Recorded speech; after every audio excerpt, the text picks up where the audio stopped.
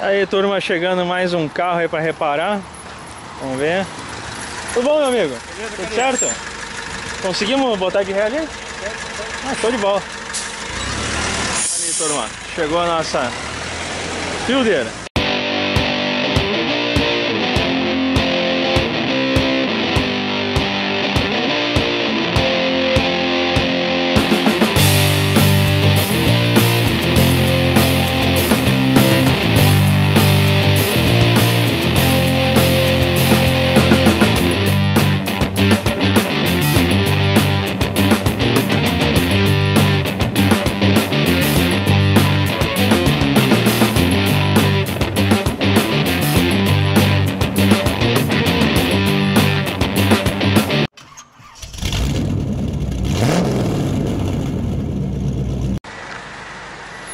Isso aí, turma. A gente está indo embora. Muito obrigado ao rapaz que fez o trabalho de trazer o carro até aqui.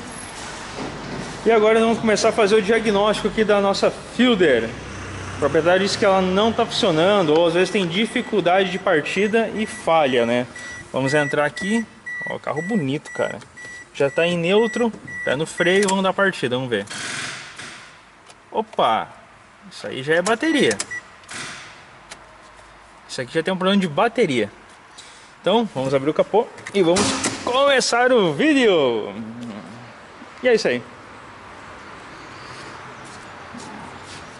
Vamos ver aqui. Nossa, pera aí. É, aguenta aí, gente. Vou dar um cortezinho rápido aqui.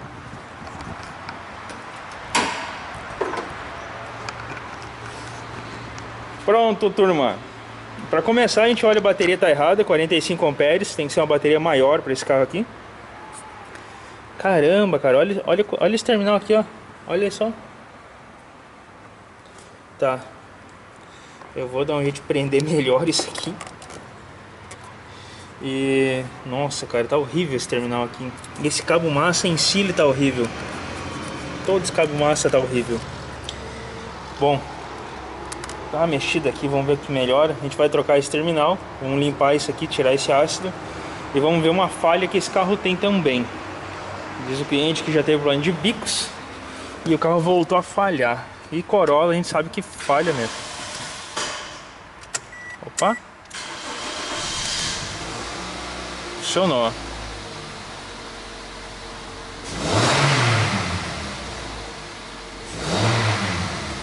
Ele tem um buraco na aceleração.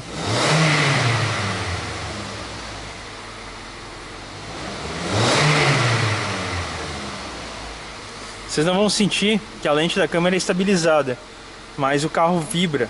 O carro está vibrando. E ele tem um buraco na aceleração e quando a rotação cai, ele dá uma tremida violenta. Bom, o carro já funcionou, então eu vou ajeitar ele, botar no elevador e a gente vai começar a trabalhar no carro.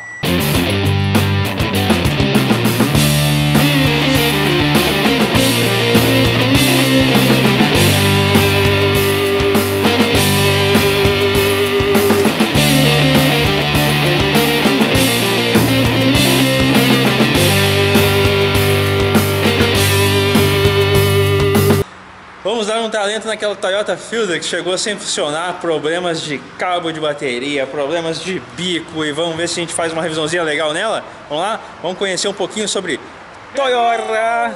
Toyota. Ficou mal isso, né?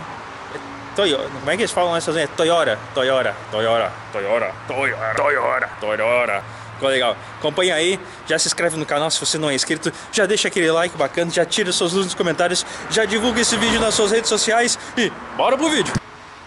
Vamos começar o vídeo de hoje, mas primeiro, vou tomar um golinho no meu café aqui. Hum. Hum. Cafezinho bom.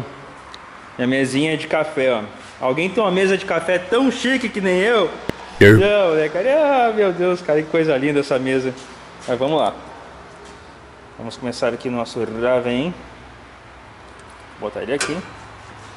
Olha que bonitinho esse Raven, cara. Fazer o seguinte, tá conectado lá dentro? Deixa eu levar aqui pra minha mesa bonita. Minha mesa de tomar café. Eu não me canso de olhar, todo dia eu acordo, eu vejo a primeira coisa venho ver se a minha mesa tá bem. Vamos lá, testar. É, Hum, Toyota, Toyota, Toyota, Toyota, Toyota. Cadê a Toyota? Toyota, Toyota. Fielder.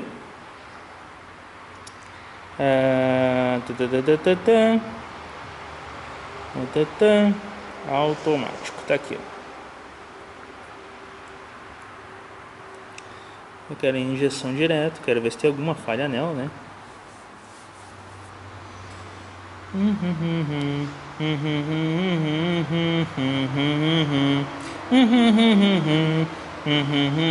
Dois mil anos depois.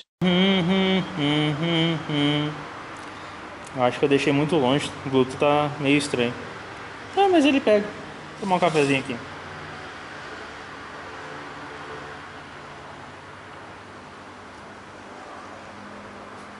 Two years later. Vamos ver, vamos pegar falhas. Não foi detectada nenhuma falha no sistema. Não foi detectada nenhuma falha, o carro está falhando. Claro.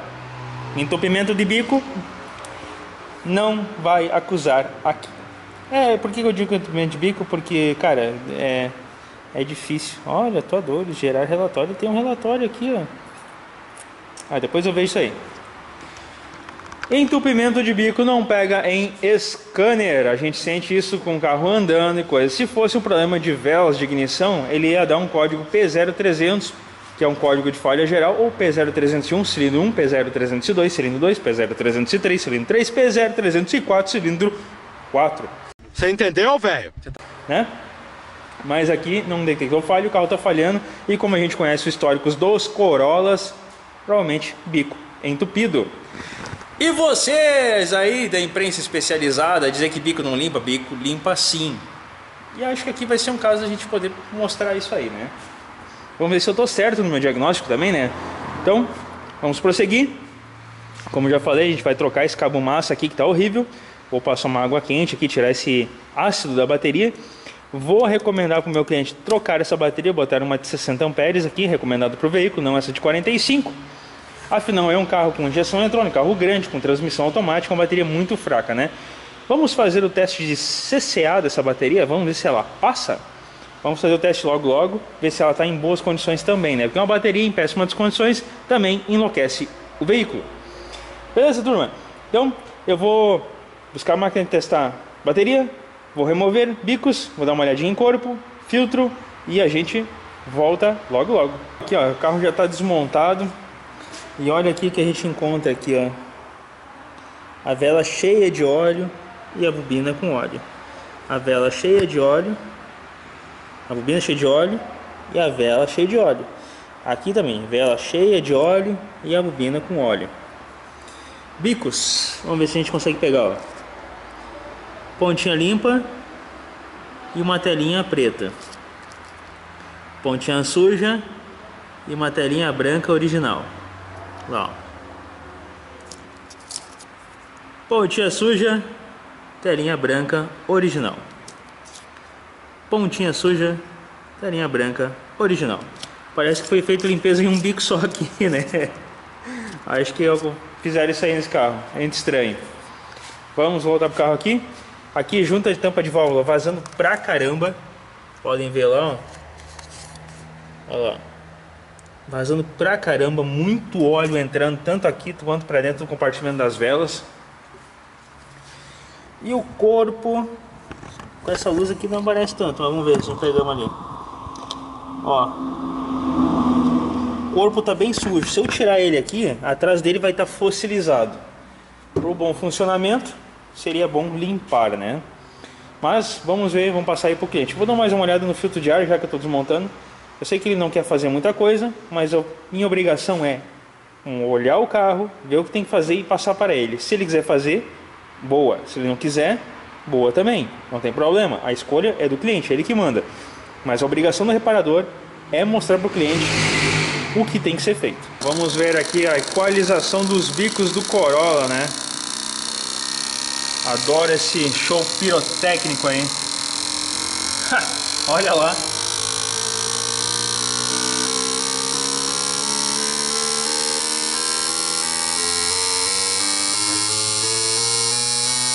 Caramba, cara. Não, isso aqui tá gastando demais. Caramba, cara. Aqui, ó, aqui deu 65 mililitros. E aqui passou dos 100 mililitros. O carro tá gastando demais. Meu Deus do céu, cara. Deixa eu pegar uma luz aqui. Eu até vou repetir esse teste. Eu não tô acreditando nesse teste aí. Olha aqui. Olha ali. Não tô acreditando nesse teste aí. Vou repetir. Não vou dar nem corte. Vamos lá. É muita discrepância. Por isso que o carro está falhando tanto. Ó, esvaziamos a cuba. Início do teste. Estroboscópio.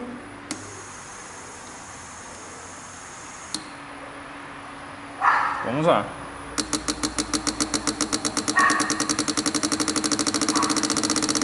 Ver se o teste vai se vai ser assim de novo. Ó, eu vou dizer uma coisa, ó, o bico tá injetando menos, tem até uma marca no bico, ó.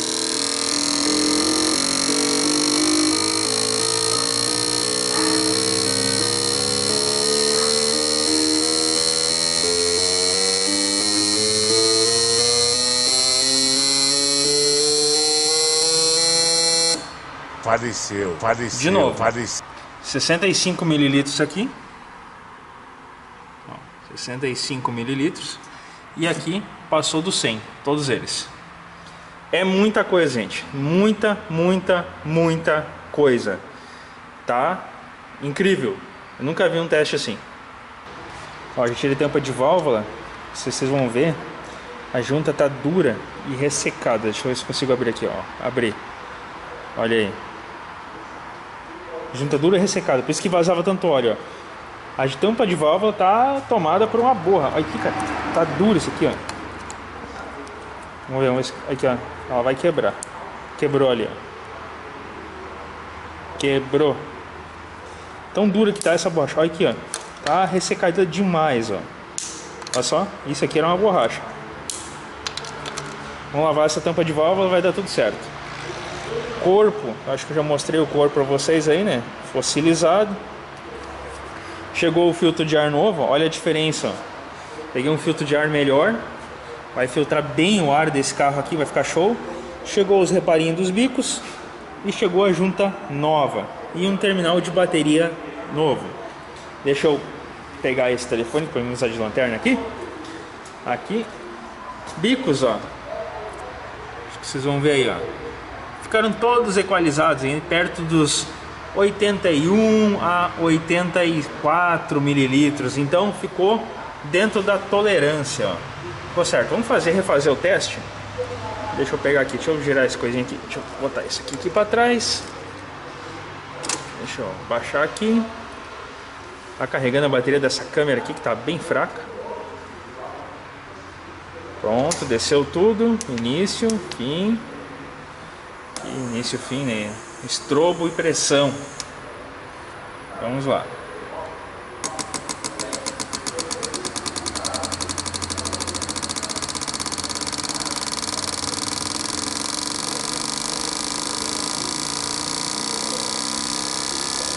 É, subindo padrão.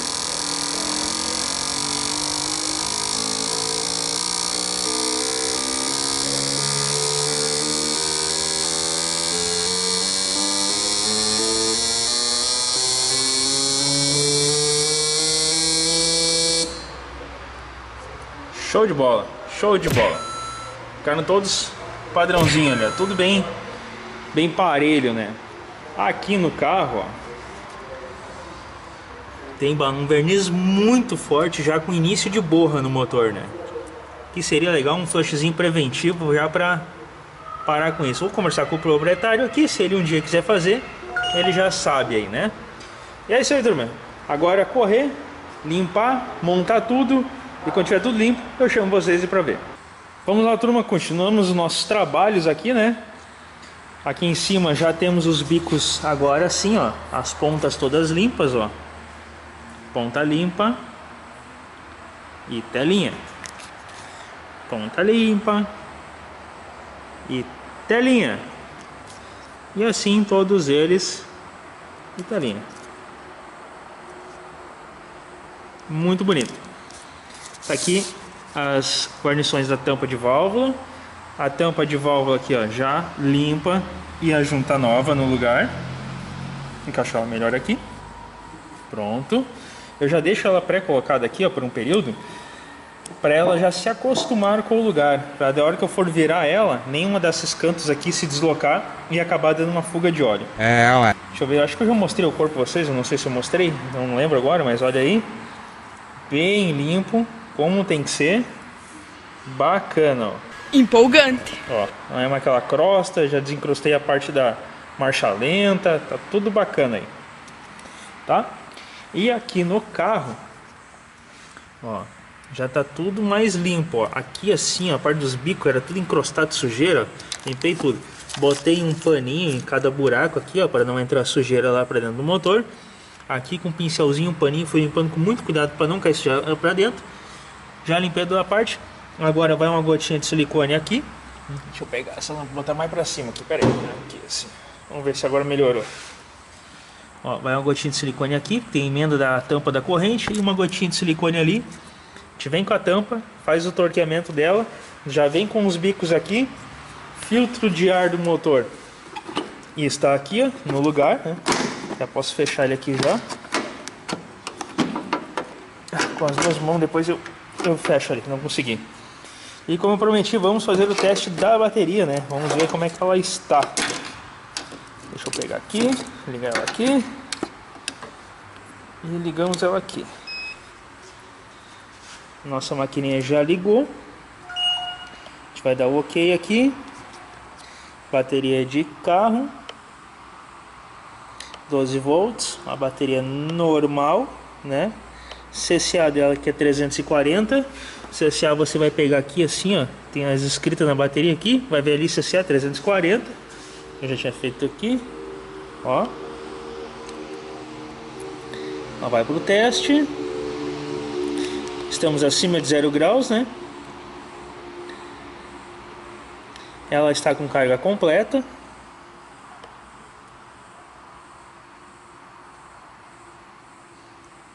Substituir bateria. É, já está na hora de substituir a bateria. A bateria muito pequena não aguenta, né? Ela dá a partida, mas ela não sustenta a partida. A gente pode ver que na hora da partida, conectado com os canos parâmetros, como a voltagem cai pra caramba. Isso é um problema quando tem injeção eletrônica. Não é um problema tão grande nesse carro, porque o corpo do acelerador ainda é com cava. Se fosse um corpo eletrônico e outros sistemas, aí sim, cara, isso aqui ia dar um problema gigantesco. Mas vou recomendar a troca da bateria para o nosso proprietário. E eu tenho certeza que ele vai fazer, porque é um carro bom, é um carro bacana, é um Corolla automático e ainda é Wagon. Eu adoro carro Wagon. Teria esse carro fácil. Toyota Corolla já montado. Corolla não, uma Fielder, né? Aqui nós já temos o nosso terminal de bateria montado. Larguei uma água quente aqui, já vou passar um ar em cima de tudo. Mas a gente já pode dar partida nele. Tampa de válvula montada, bicos montados, coletor, tá tudo certo, bobinas, velas. Cara, o carro ficou simplesmente show. TBI então ficou incrível. Ajustei a folga do cabo aqui, que tem uma folga muito grande. Isso daria um delay aí na aceleração. E agora são exatamente 22 horas e 5 minutos. Vamos dar a partida no carro e ver como é que ele funciona. Vamos lá? Vamos entrar aqui. Vamos entrar aqui. O carro está no neutro.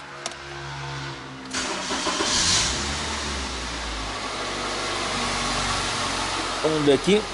Ó, o carro está frio e a rotação fica levemente alterada. Quando o carro esquentar, a rotação volta ao normal. Beleza? Agora o que a gente vai fazer aqui, ó? Vou pegar aqui o tablet. Eu vou entrar aqui scanner.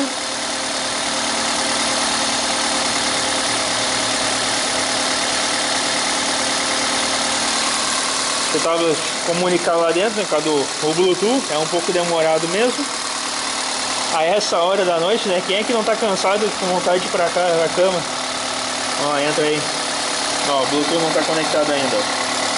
Conectou. O jatinho aqui. Tu vai entrar no sistema dele. Injeção eletrônica.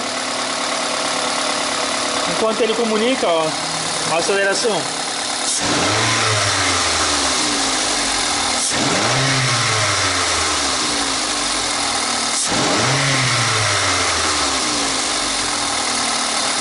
Ficou bom, né?